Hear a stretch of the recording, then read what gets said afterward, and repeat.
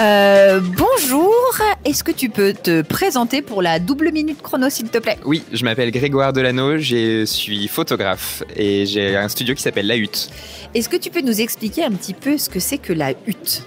Alors La Hutte, c'est un studio de photographie qui travaille dans quatre domaines, l'écologie, le social, la culture et l'artisanat.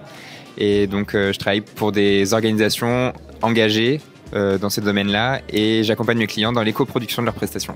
Éco-production, c'est-à-dire C'est-à-dire qu'on va faire un bilan carbone de la production et on va voir tous les postes où les émissions de gaz à effet de serre peuvent être diminuées et on va aussi avoir des éco-gestes sur euh, les équipes techniques, sur euh, le, le, recyclage, euh, toutes ces, toutes ces choses-là. Très rapidement, c'est quoi tes dernières actus? Alors euh, bientôt, c'est pas encore euh, sorti, mais euh, je suis en train de faire les photos d'un livre qui s'appelle Les Immortels. C'est les photos du livre, les photos du film Les Immortels par Pierrick Laurent et Léa Rossignol. Et je rencontre six agricultrices en Auvergne qui ont des pratiques paysannes. Très bien. Euh, on a envie de parler coopération sur le salon luxe. Qu'est-ce qui te plaît dans les coopérations et les collaborations? Moi, j'aime bien l'échange d'idées. Avec, je co-construis toujours les projets avec les gens avec qui je travaille. Et du coup, euh, ben, les idées de, des clients peuvent inspirer euh, mes idées. Et puis moi, je, viens apporter ma touche artistique.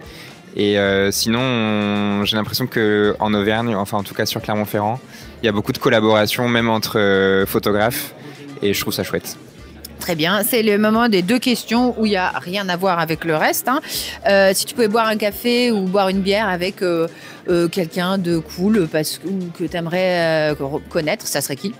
Avec Rémi Bonin, que je connais déjà, mais ça fait un moment qu'on dit qu'on doit se boire un coup. Et lui, il a une boîte qui s'appelle RB1 et qui fait de l'événementiel éco-engagé. Et ça, c'est la dernière question. Il va falloir regarder juste ici. Ouais. C'est le moment gratitude, remercier quelqu'un parce qu'il t'a donné un coup de pouce ou remercier quelqu'un pour une autre raison. Eh ben, je remercie Claire Pétro des Pépites Vertes qui m'a permis de rencontrer plein de jeunes engagés aussi, euh, qui est plus sur la région parisienne, mais c'est une communauté qui est dans toute la France entière et même un peu au-delà, et euh, qui travaille dans la transition écologique, et c'est cool. Eh bien, merci beaucoup, Monsieur Delano, merci et beaucoup. je vous souhaite une très bonne journée, un bon salon. Merci beaucoup.